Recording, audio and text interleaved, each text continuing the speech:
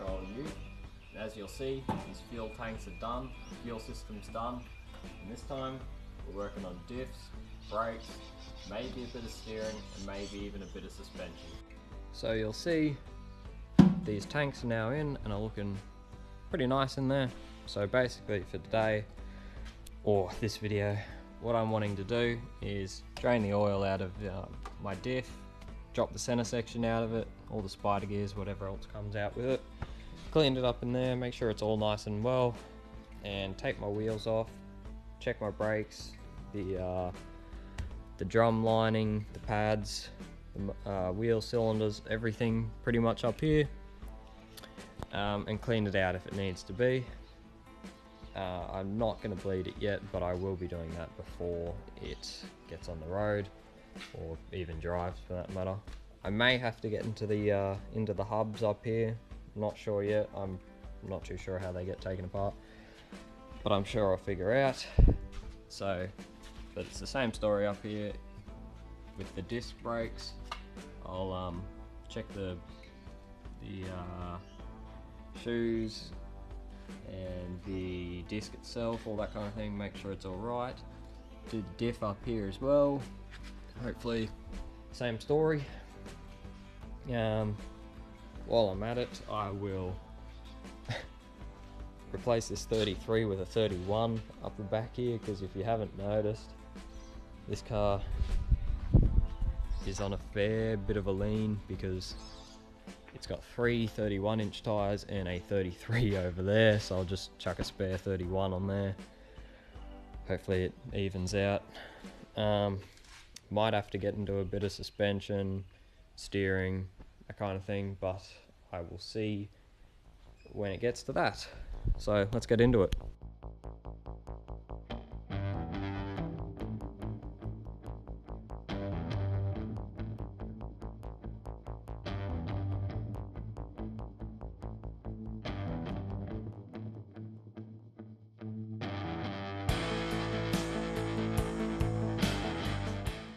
That's uh, that's seriously quite filthy. Lots and lots of dirt, mud, mud wasp nests, and whatever that is in there. So um, yeah, it's gonna be fun cleaning out. But the pads look all all right. So does the this um, drum. It's got a couple of scratches in it, or gouges that are a bit deep, but for the most part, I think it should clean up fine.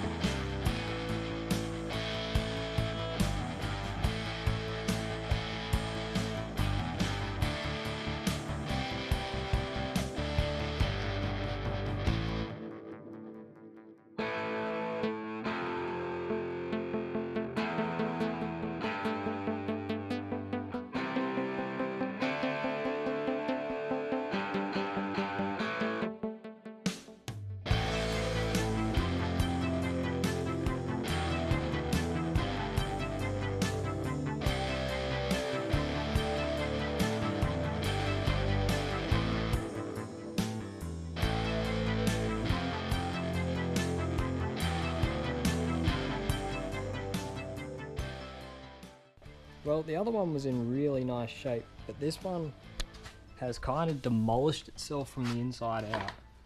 Um, I can only assume these have been changed because they look quite new.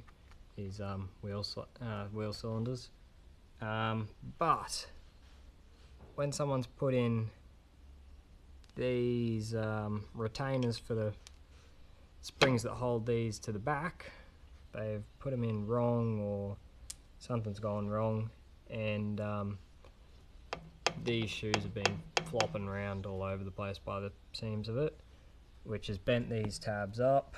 Um, and there's bits of the parts off this laying in the bottom of here everywhere. But surprisingly the lining in here is in really good shape. Like it's probably better than the other side honestly. The shoes are not the greatest. Um, there's a crack up here you can see in that one, but um, they're probably salvageable. Like there's heaps of meat still left on them.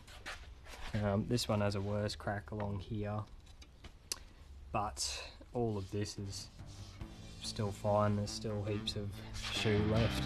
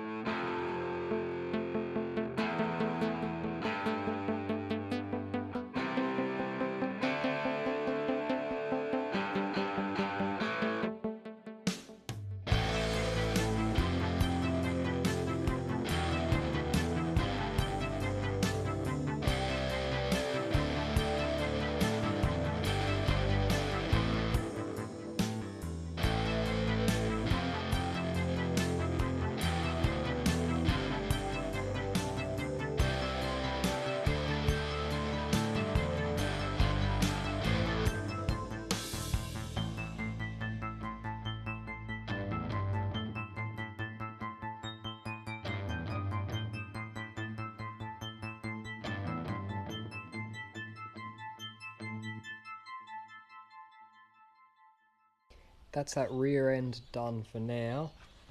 Um, that took a whole weekend and was a bit of a pain because of the suspension side and getting rid of that big bar that came out. But um, I'm happy that's gone now. I've hit my head 50% less. but um, yeah, it took a bit longer because of that. Uh, that is all buttoned up for now, um, as it should be. I put the smaller tyre over on that side rather than the 33. I put a 31 on there, but the um, the rim is black, which is a bit ugly, but um, it doesn't matter anyway because I'm going to end up putting those alloy wheels on. Um, the diff uh, itself was in really nice shape. All the gears were um, were good.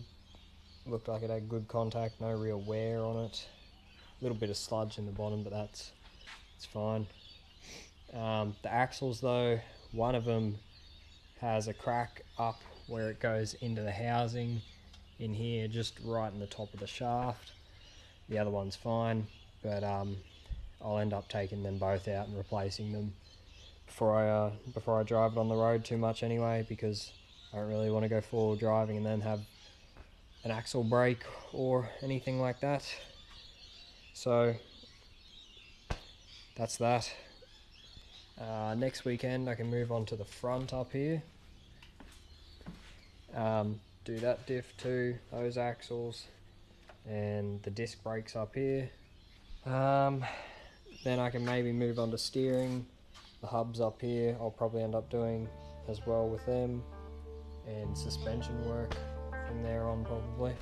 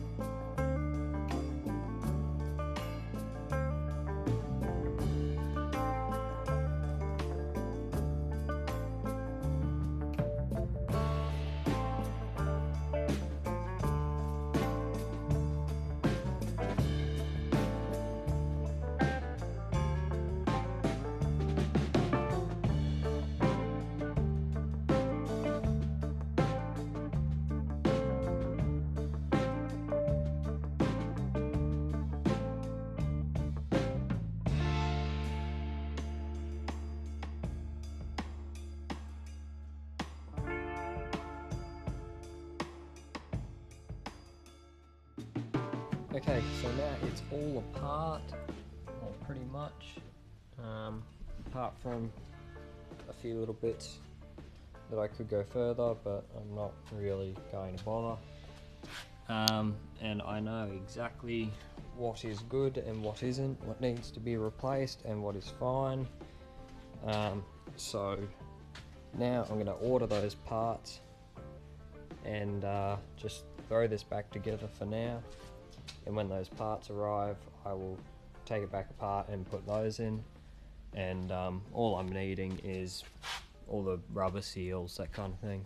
And that's really all. The um, axles are good, the CVs look pretty good. Um, of course, I'll re-grease them and that before I put them back in. Um, the diff is in real nice shape. It does need new brake pads, and these discs need a clean up. Um, but otherwise, it is in pretty good shape.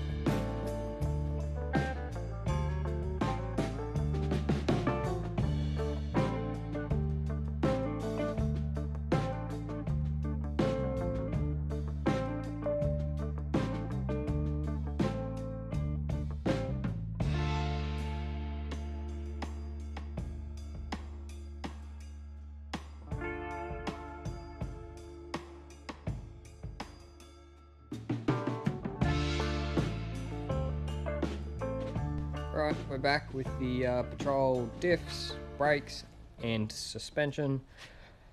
Um, not too sure where I was up to, as always, but uh, um, this is all back together at the moment. Um, the diffs are back. I believe this is a H260 rear diff. Um, correct me in the comments if I'm wrong. The front is back together. It just looks pretty stock standard. Um, nothing out of the ordinary in there. They are both in really nice shape. The uh, centers, the axles and CVs on the front were in good shape too. Um, all looks okay. For the point of the video, I've taken it apart and put it back together in my own time. They'll slowly take it apart bit by bit and put the bits in that I needed, but it's going to be the same process again. So I'm not going to make you watch that, um, unless if you want to. If so, comment down below, or message me on Instagram or something and say. But um, anyway, now I'm going to move on to the suspension on this thing, and like the thumbnail will probably have in it, this thing was on a pretty major lean when I bought it. Part of that was because it had one 33 inch tire on the back there, but if you look, it's still has a lean to it. Um, and that that is down to these suspension bushes, which I can't even really say these suspension bushes because they're not they're not really suspension bushes anymore, are they? They're just they're gone. um, so they're just completely gone. So I'll drop those out, smack them out. Got new Dobinson's ones here, ready to go in uh, front and rear. Um, they're greasable shackles, so hopefully they will be fine, and I don't have to replace them because that that's a fair price. But uh, yeah, well, let's get into that.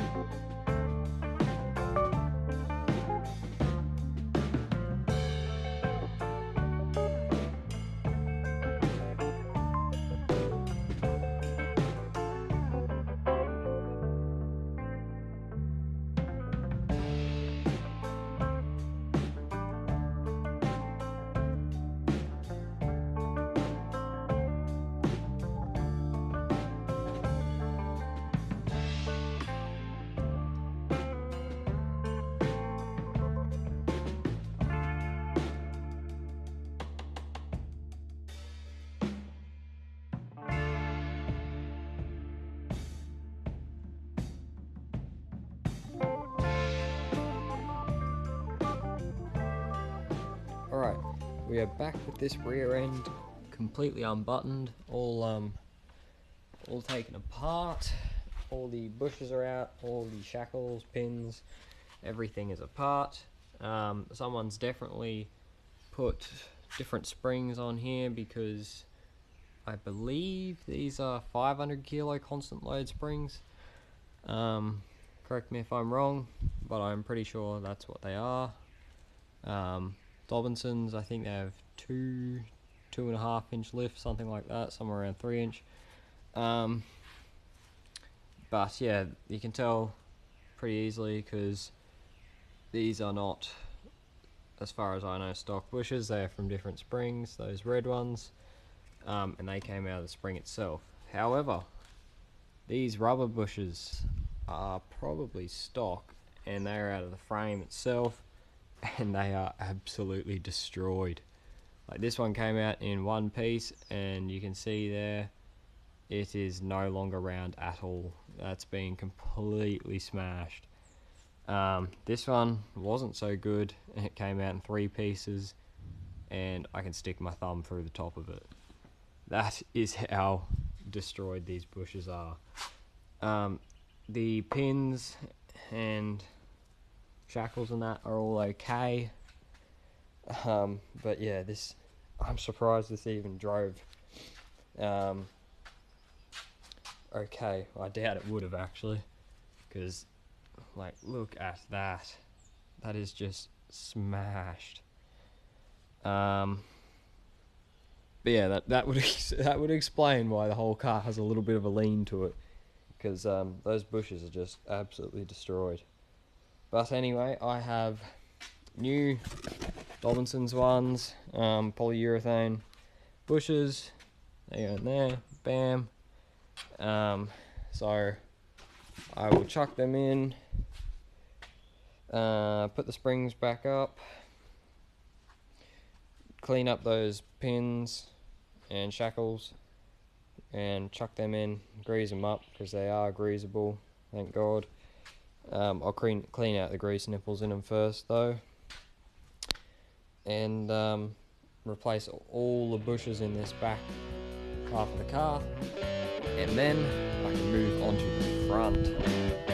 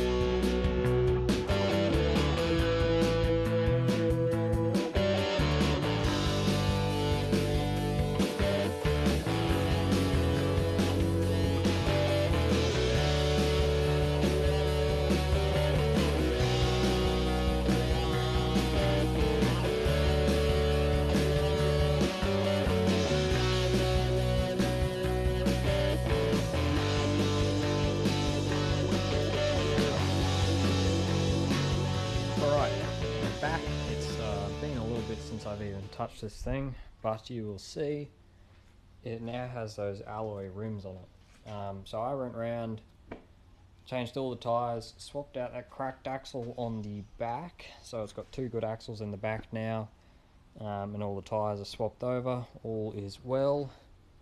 Um, all the suspension's done pretty much. Everything is pretty much good. The only thing left to do is I'm gonna have to put a sway bar in here. So I have a sway bar on that chassis over there.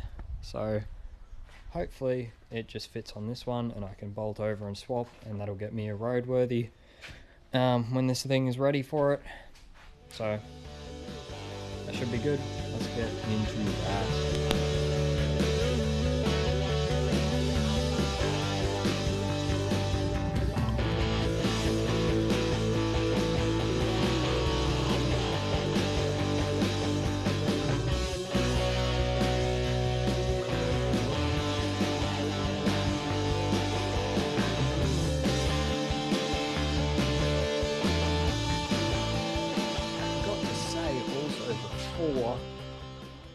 That transmission in. So um, a couple of weeks ago, friend and I um, wrangled it out of that chassis and into this thing, and it is all bolted in with new transmission mounts.